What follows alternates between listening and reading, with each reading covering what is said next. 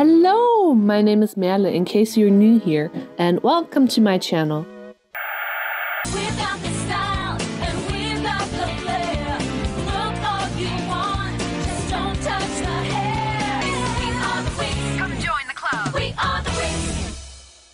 On today's episode, we will start making a 43 centimeter tall Winx Club BJD. Winx Club is one of my absolute favorites, my happy place. Not only does it have a good story, magical girls, sparkles, drama, and a few bangers, but also an amazing girl cast with a good range in personalities. But sadly, I don't own any of the Winx dolls, so I decided to create my own. So let's get started with the one and only, the sassy fashion queen diva, Stella, the fairy of the sun, moon, and stars. Breaking news! A new magic babe has arrived the scene. Well, a second version, that is, at least. I made some changes to the body, and I'm so happy with all of them, but I will go into an in-depth video of it in another video, not today. Let's focus on this project for now. Because my babe is based off of my fashion illustrations with a stylized body, I thought she would be a perfect fit for the Winx Club girls. The long legs, the wider hips, the small waist, the big boobas, and oversized head. Ideally, I would love to give all the girls different body types like Monster High has them, but I only have limited resources, so I have to stick with the base concept for these redesigns of my girlies.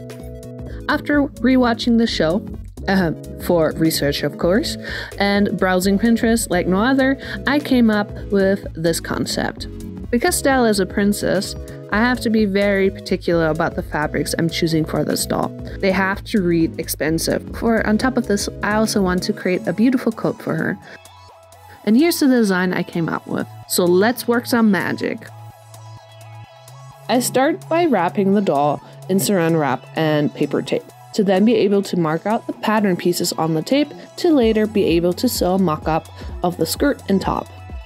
And here's also the sample of the mentioned coat. Let's cut out the top from the silk. After cutting it all out, I proceed to fray check it and sew the darts first.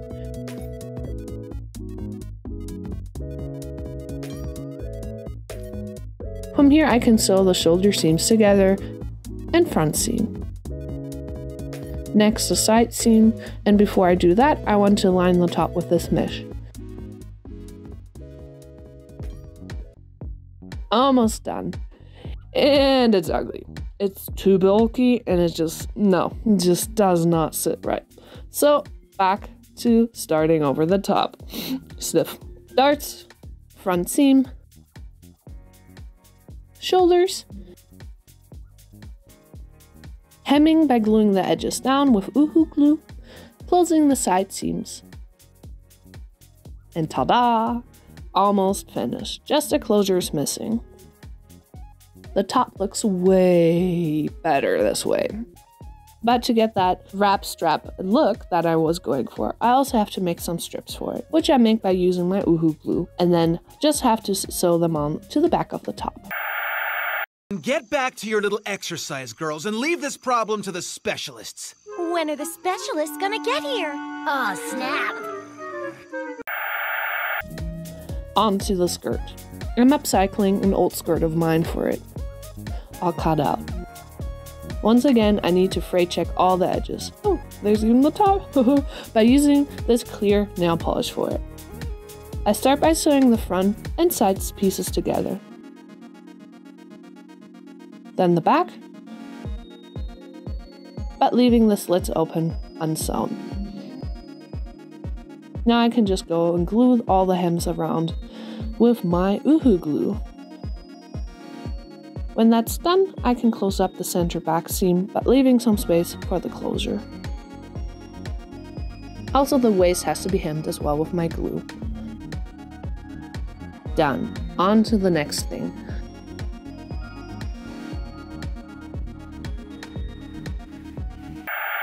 He looks scary. Griselda, head of discipline. She is scary and in bad need of a makeover. Last year, she destroyed the potions laboratory with an unauthorized magic spell. You really did that? I was trying to create a new shade of pink. For the wig cap, I'm using stockings once again, but this time I'm using wood glue as recommended from Pablo from Hopeful Creations. This wood glue, I stick on one layer, it has a nice thick consistency and it goes just way faster. I'm never going back to my old glue.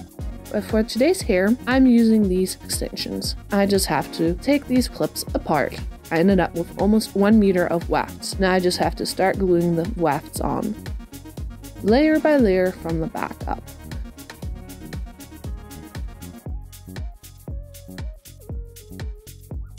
When I reach the height for my plant pigtails, I roll up a weft and hot glue it in place. Like so. Now I have to struggle to make these parting wefts. I think th this fiber is nylon. It was super hard to make it do what I want. Now I just have to cut the first layer of the bangs. It's getting there. It's not quite yet what I want, but I will finish it off camera. We'd be done a lot sooner if you know who had helped us. We agreed that you were gonna clean the floors. No, you two agreed. Hey! You want me to break a nail? Nails. Stella needs some long, divalicious nails. I haven't tried this yet, and I'm super excited to make these long nails. I watched a few YouTube videos on how to make it, so let's get started. Using hard resin, my UV flashlight, nitrile gloves, a mask, better is a respirator mask, and a little cup to put my resin into so I can spread it out more easily. Now I just have to mimic what I saw in the videos. A little bumpy, I will try again. It looks much better, and the taping technique was much better this time around too. This part, oh my gosh, so satisfying. I'm definitely vicariously living through these gorgeous nails. I could do this for hours. Nail art time! I forged through my gems to find the right size and colors.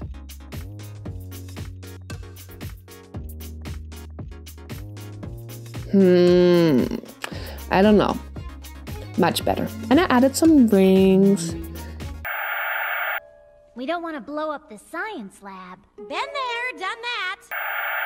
I cut out some PVC leather to create an iconic Y2K purse. Before I sew it though, I have to add some eyelets. All sewn together. This necklace will have to be taken apart to be made into a chain strap for the purse.